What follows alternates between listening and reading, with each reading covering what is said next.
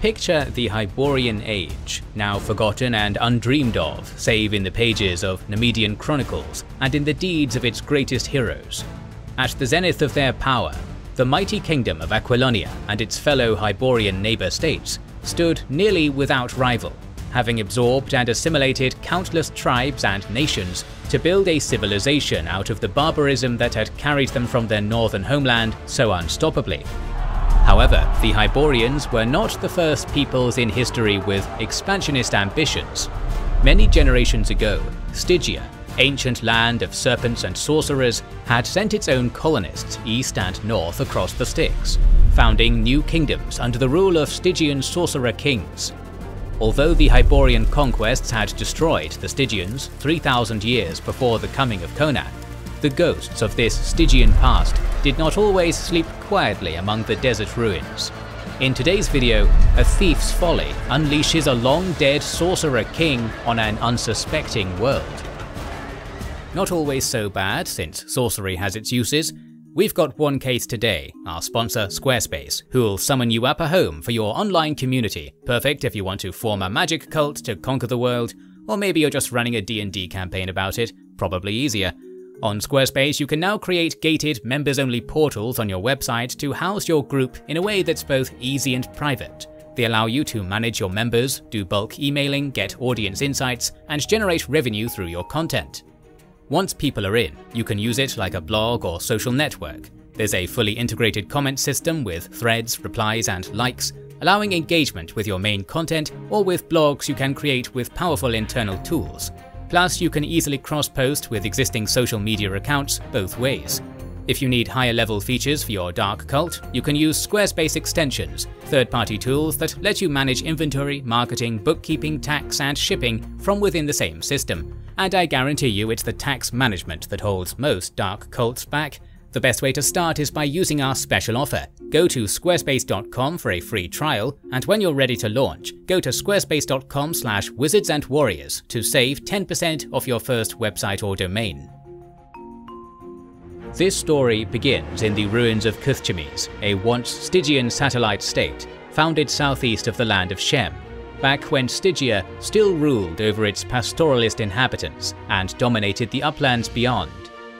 Though destroyed along with its neighbour kingdoms by the still barbarous Hyborians of that bygone age, the last king of Cuthchemes, the feared sorcerer Thugra Khotan, would go out on his own terms rather than those of his conquerors. As his city burned, he consumed a deadly ritual poison, his black heart going still as his acolytes sealed him into the impregnable tomb he had prepared for himself, and though the Hyborians razed Cuthchemes to the ground, no amount of effort by the barbarians could crack the tomb's ensorcelled walls or open their way to the treasure within. As the years drew on, the Hyborians and Shemites alike steered clear of the cursed ruins, with only thieves and madmen paying heed to the legend of Thugra Khotan.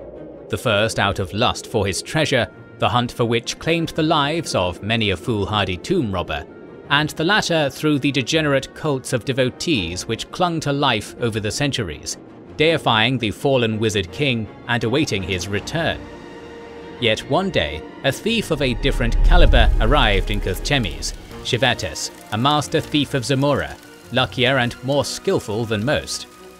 Where so many had turned back in failure or perished before him, he came armed with long-forgotten secrets and an incantation of opening gleaned from thieves' tales and cultists' chants over many perilous adventures. Narrowly avoiding death at the fangs of the tomb's ancient serpent guardian, he opened the ancient tomb, revealing the vast treasures of Thugra Khotan inside. But the only reward Shevatas would take from this success would be a grisly death at the hands of Thugra Khotan himself, preserved in undeath for 3,000 years and now free to take vengeance on the descendants of his conquerors.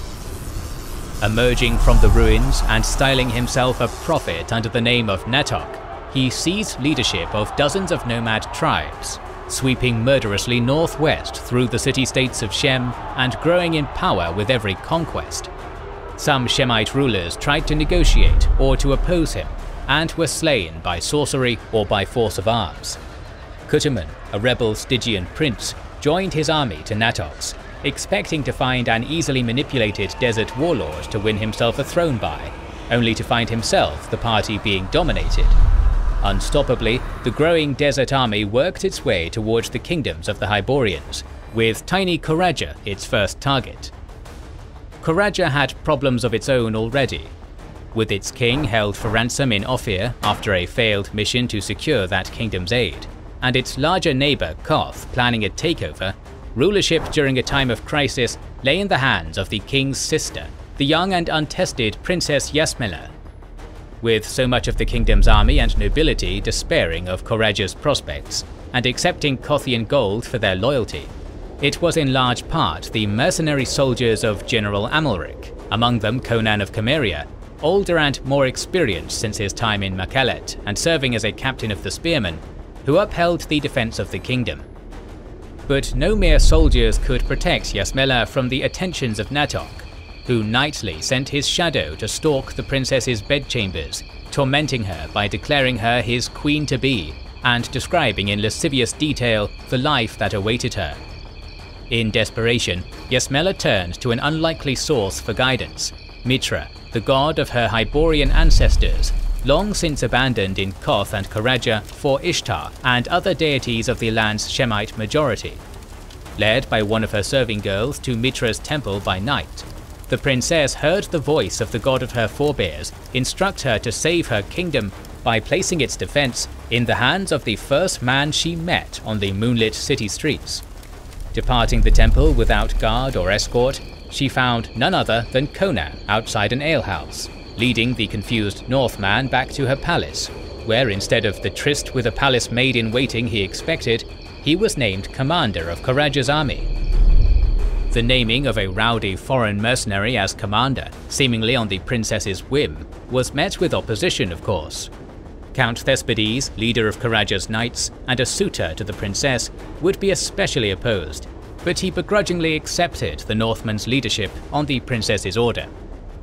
With discontent still simmering, Conan marched out with the kingdom's armies to meet Natohk at the pass of Shamla, a narrow pass through the steep hills and cliffs that separated the Kothian highlands from the deserts of eastern Shem, two days' march from Khoraja. The site of an ancient Stygian ruin, a well-worn caravan road, and the path by which countless armies had marched in ages past, they were guarded and patrolled by the Zahimi clan, one of the many tribes on the kingdom's outskirts that swore fealty to the crown of Khoraja. Camping on the plateau at the top of the long steep valley that made up the pass, with a well and several stone archers towers to aid the defense, Conan's forces were bolstered by some 3,000 archers from the loyal hill tribes, leaving him with an army of 12,000 strong in total.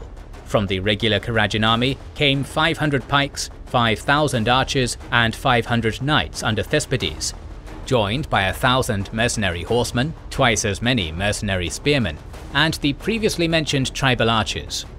With the narrow pass held by spearmen, and Conan's bow-heavy army commanding the cliffs and ridges surrounding it, the pass would be a difficult obstacle to force, even for an army as large as the approaching horde, claimed by Natohk to number a hundred thousand, with the Stygian chariot archers and Kushite horsemen of Kutamun's rebel army racing ahead of the nomad and Shemite warriors of the Desert Prophet. The Khorajan's morale would also be bolstered by the presence of their princess, still haunted by the nightly apparitions of Natohk, now taking ever more horrifyingly lifelike appearance as the undead sorcerer drew closer. She had chosen to accompany the great army on its march, rather than await the spectre in the cold loneliness of the palace leaving her great pavilion to stay in the commander's tent, under Conan's vigilant protection. She slept without fear or nighttime visitors for the first time since the opening of Cuthchemes. Conan had his own problems of command though, even with the princess's blessing and presence. Despite the massively greater numbers of Natohk's horde, Thespides demanded they be met head-on his ideas of chivalry and his noble-born disdain for his foes, leaving him sorely underestimating the danger faced by Khoraja and her army. On Conan's refusal, he split off with his knights to camp in the valley rather than with the rest of the army on the plateau, an empty gesture on its own, but foreshadowing further mutiny by the proud count against his low-born commander's orders that would nearly spell his homeland's doom. There would be little time for petty arguing over authority, however. The army had scarcely had time for a midday meal after their arrival at the pass when the first signs of Natohk's approach began to show. A great plume of sorcerous mist rolling up the valley towards the defenders, concealing the approach of the horde. The undead mage was facing a cannier general than the likes of Thespides, though.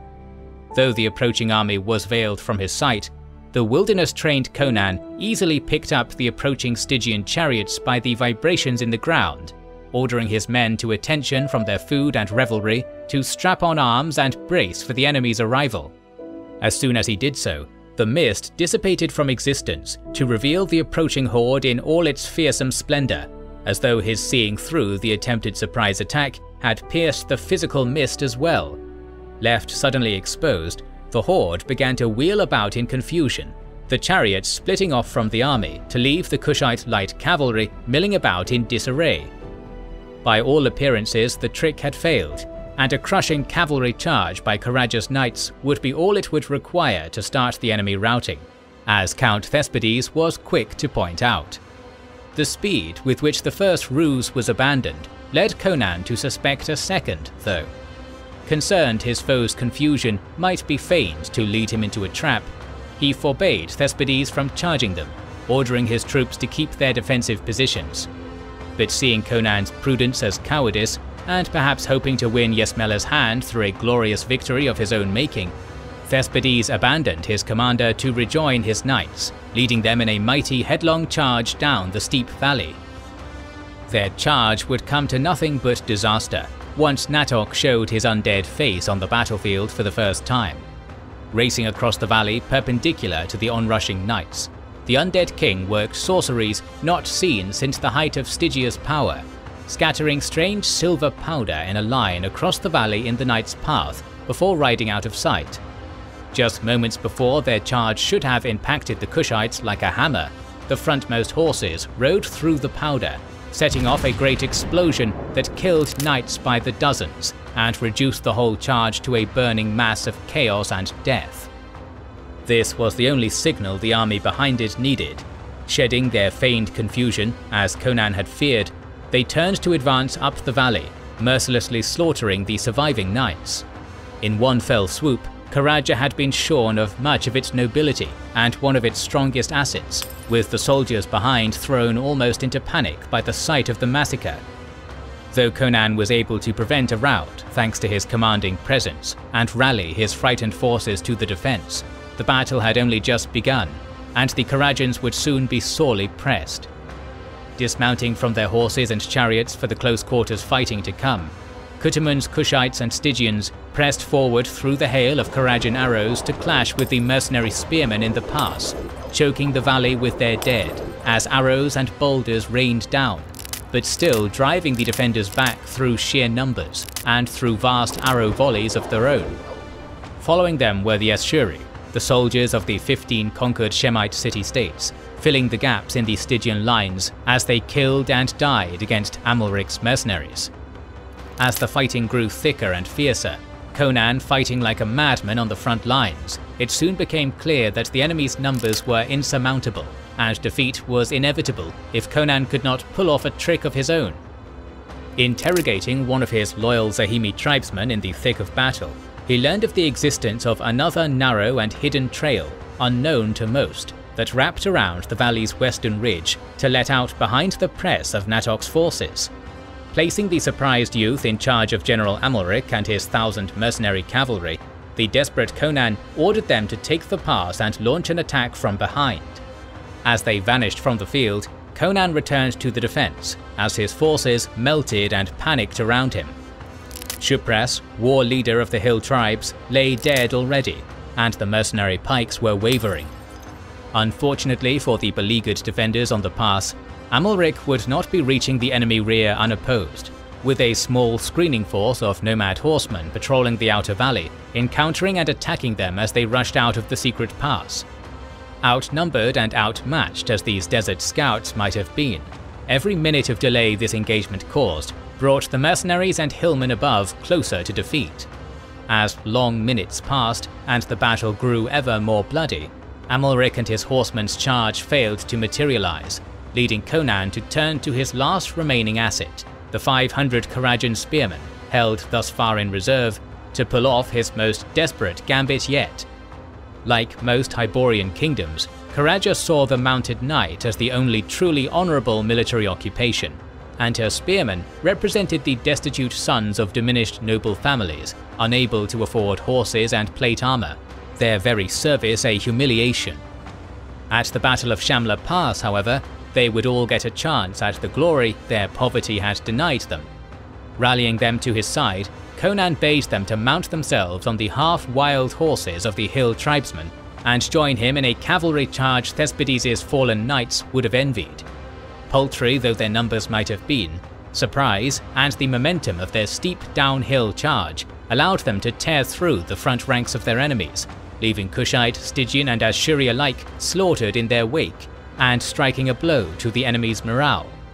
Still, had this charge been unsupported, or had Natohk remained on the field to rally his shaken forces, the makeshift knights would likely have simply been drawn into the vast host and cut down, a valiant death in battle the only prize for their mad charge.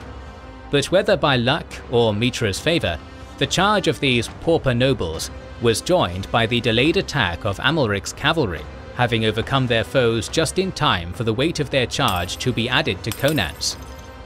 With Natohk having abandoned the battlefield, the impact of the mercenary horsemen in the rear of the great leaderless host created instant chaos and panic, a genuine reenactment of the confusion they had previously feigned to bait out Thespides' knights. Despite retaining a vast numbers advantage, the panic and stampeding soon had the horde tearing itself apart, unaware in the confusion of how very few the horsemen who had torn through their lines truly were. As the nomads fled in terror to mount their horses, and Stygians raced for their chariots, the horsemen of Khoraja reaped a terrible toll on their fleeing foes, with Conan himself slaying the massive Prince Kutamun in a savage duel among the rout. The bulk of Conan's forces had fallen, but the enemy's losses had been far, far greater, upwards of 40,000 slain by arrows, trampling, or the Khorajan spears. Even among his army's defeat, Thugra would make one last bid to win the prize he had truly sought.